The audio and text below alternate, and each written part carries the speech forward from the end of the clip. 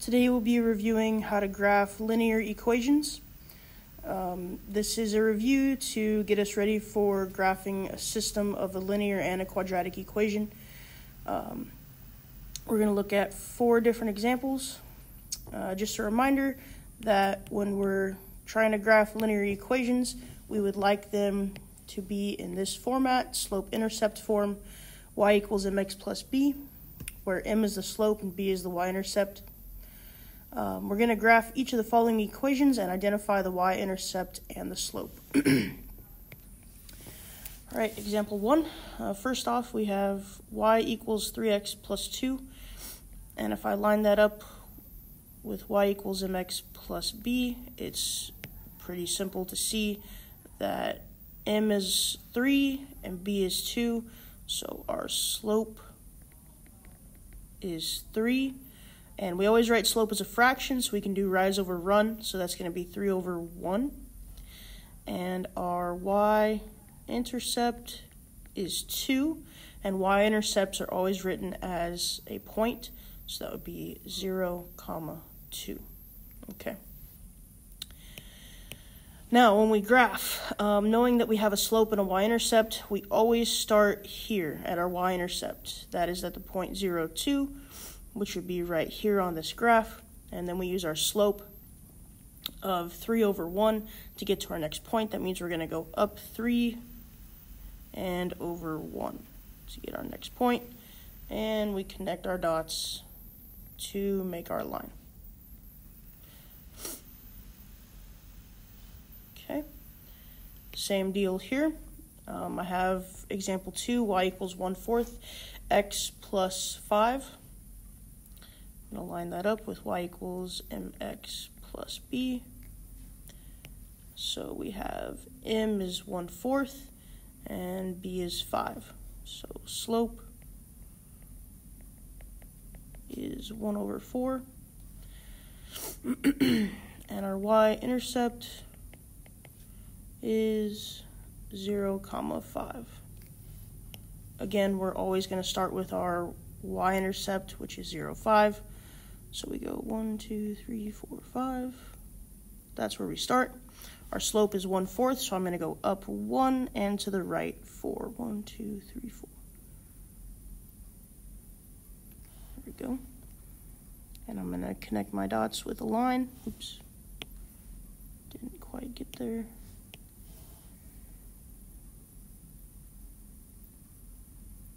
And there I have my graph. If you can, try and draw your lines with a ruler. Um, there should be some available on the counter.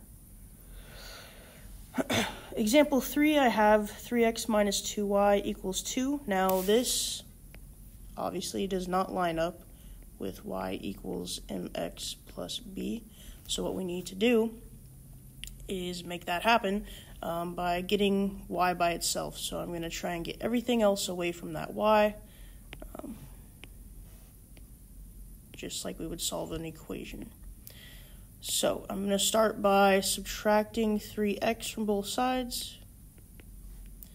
I have negative 2y equals negative 3x plus 2. Then I'm going to divide everything by negative 2. Okay. So here, these negative 2's are going to cancel out this negative and this negative will cancel out. And I'll have y equals 3 over 2x plus 2 divided by negative 2 is going to be a negative 1. I'm going to get rid of that addition sign. It's going to become negative 1. Now this lines up with y equals mx plus b. And I know that my slope is going to be 3 over 2 my y-intercept is at negative 1.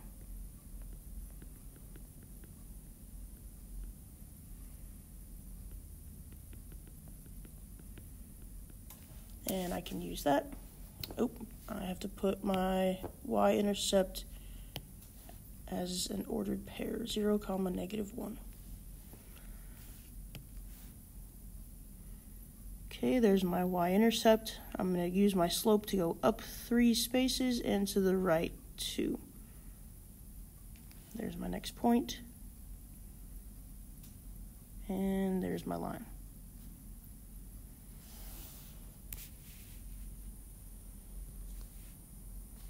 Example 4. Um, this one also needs to be made to look like y equals mx plus b. So again, I'm going to make it happen by solving for y. To solve for y, I'm going to subtract 4x from both sides. And I have negative y equals negative 4x minus 3. I'm going to divide everything by negative 1. These negatives will cancel, these negatives will cancel, these negatives will cancel. And I will be left with y equals 4x plus 3.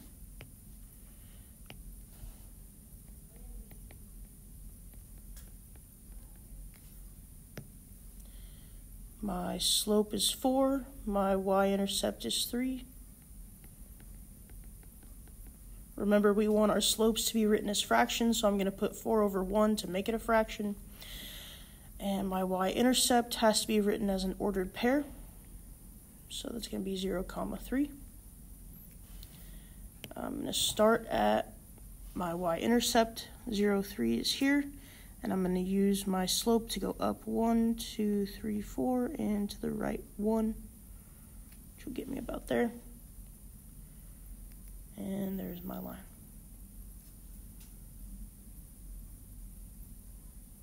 Okay, that is how you graph a linear equation.